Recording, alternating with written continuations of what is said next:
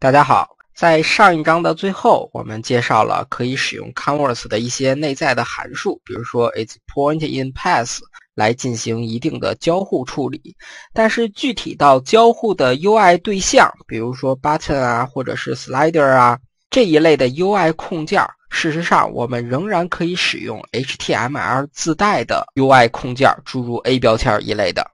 那么在这一小节呢，我就给大家讲述一个例子。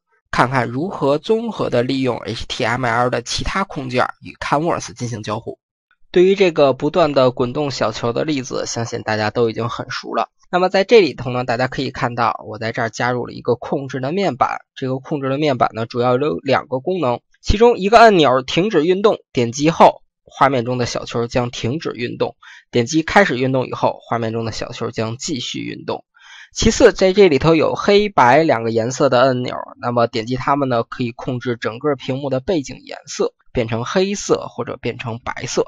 当然，这只是一个简单的例子，大家学习了这一小节以后，也可以根据自己的创造、自己的需求，创建更多的功能控件。那么，下面我们就来看看这样的一个控制面板是怎样实现的。在这里，大家可以看到这个程序的 HTML 部分比之前稍微复杂了一些。其实主要为了实现这个控制面板，我新增加了一个 div。同时，为了保证这个 div，我管它的 ID 叫做 controller，在整个画面上正确的进行布局，我在 canvas 和这个 controller 的 div 的外面又新增了一层 div，我管它叫做 canvas wrapper。大家之前看见的蓝色的控制面板悬浮在 Canvas 上的效果，实际上就是 Controller 进行绝对布局后的结果。那么相应的这部分内容呢，大家可以想象，其实就是写在 CSS 中。我们简单的看一下这里头的 CSS，我们把重点放在首先 Canvas Wrapper 它的 Position 要赋予一个 Relative，也就是相对的布局。其次，Controller 它的 Position 赋的是 Absolute。同时指明它的 top 值和 left 值，这样一来，大家可以想象，这个 controller 就悬浮在了 canvas 的上面。当然，为了让它不完全的遮挡 canvas 画布上的内容，它的 background color 我给复制成 RGBA，给了一个0.7的不透明的颜色。对于这一节的内容呢，我们主要介绍的不是 CSS 的内容，所以。我只剪出这一部分布局相关的代码进行详细的介绍。那么其他的部分呢？大家可以下载源码进行阅读，并不复杂，只是为了实现我需要表现的这个控制面板它的显示效果。在这里呢，要提醒大家两件事情。首先，Converse 我们不能把它将一个 div 来用，也就是说，在 Converse 中间显示的其他的 HTML 代码的控件。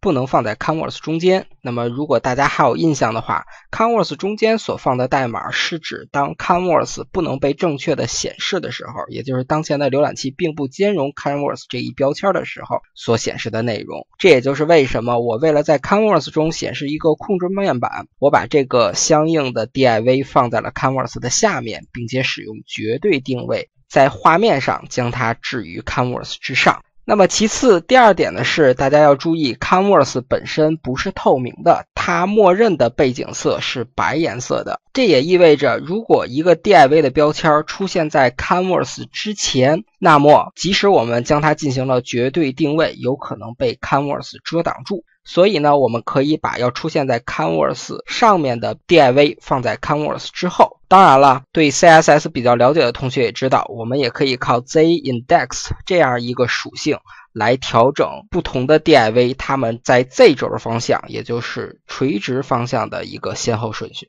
讲到这里，我就已经把这一节的重点讲完了。那么就是如何在 Canvas 中同样的使用一个 HTML 相关的标签。当然了，对于具体功能的实现，相信对 JS 比较熟悉的同学会觉得非常的简单。那么下面呢，我们快速的过一下这个代码在绘制方面呢改动不大，添加了这样三个 A 标签，主要改动的呢是两方面的内容。一个是当前的画面中的小球是否运动，我们设立了一个叫做 is moving 这么一个布尔型变量来控制。另外一个呢，就是整个画面的背景色，我们设置了一个叫做 theme color 这样一个变量来控制，默认是一个字符串 white 白色。那么下面在 unload 函数中，整个小球的初始化以及绘制的过程呢，和之前是一致的。在这里呢，关于我们这两个变量的用处呢，大家可以看到。首先，在 setInterval 这个函数中，update 这个函数要判断一下当前是否处于 isMoving 这样一个状态。也就是说，当前 isMoving 为 true，也就是我们希望小球运动的时候才进行 update。那么大家可以回忆一下，update 这个函数主要就是将小球的位置进行移动，同时计算小球新的位置的坐标。如果 isMoving 为 false，那么不 update，不停的进行 draw 的话，那么大家可以想象，Canvas 画布中的内容是不变化的。另外一方面呢，就是 theme color。那么 theme color 在 draw 这个函数中使用，大家可以看到。如果 theme color 为 black 的话，那么我会将 cxt 的 fill style 设成 black，同时对整个 canvas 画布进行一次 fill rect 的操作，以保证在绘制小球前 canvas 画布变成黑色。那么 theme color 是 white 的时候，就不会进入这个 if 语句，那么 canvas 画布默认就是一个白颜色，也就是说绘制出的背景颜色呢就是白颜色。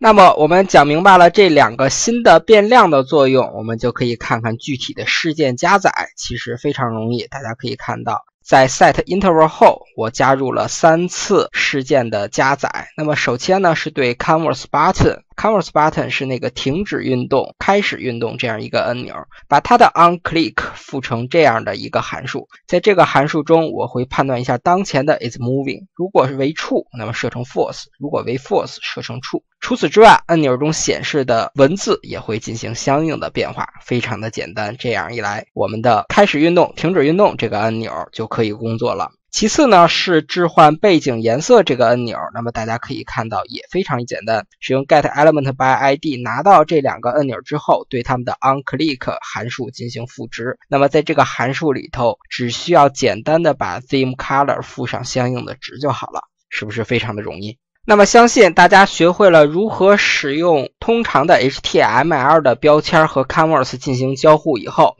大家就能运用之前学习过的诸多的知识和 Canvas 一起创造出更加有创造性的应用程序来。大家不妨试着拓展这个应用程序，也不妨开始尝试创造属于自己的 Web App。大家加油！